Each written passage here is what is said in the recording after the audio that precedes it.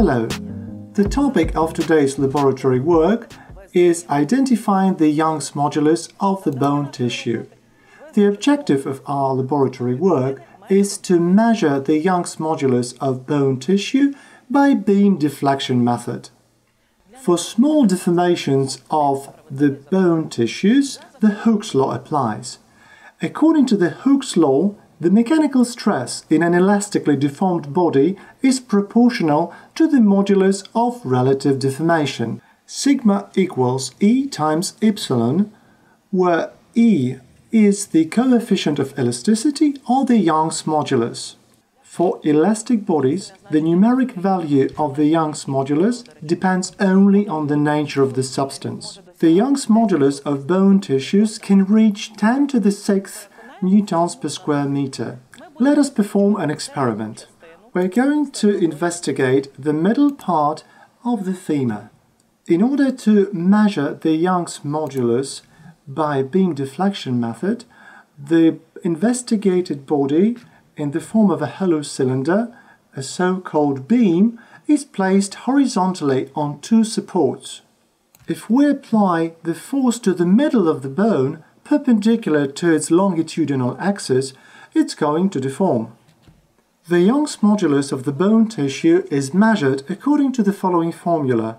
E equals K times M times L to the third power divided by D to the fourth power times F, where L is the length of the bone, which is the distance between the supports measured with the help of a ruler.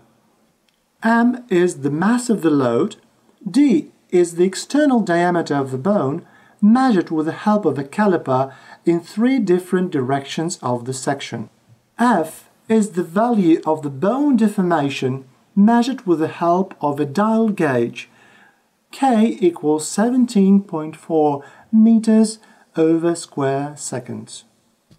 So let us proceed to the laboratory work according to the instructions.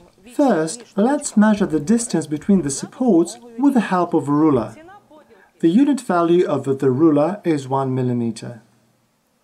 The distance between the supports is 290 millimeters.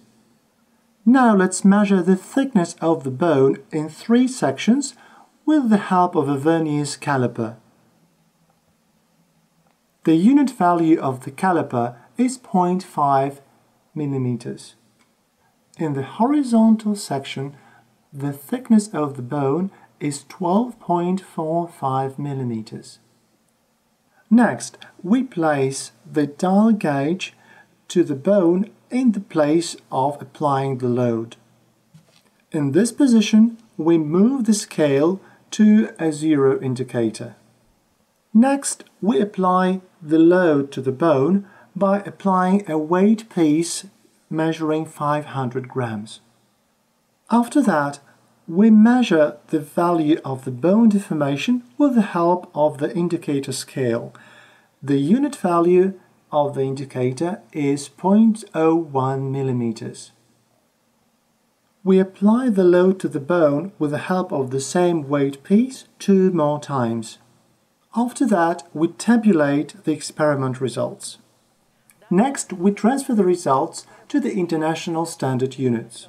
We calculate the Young's modulus of the bone tissue according to the given formula.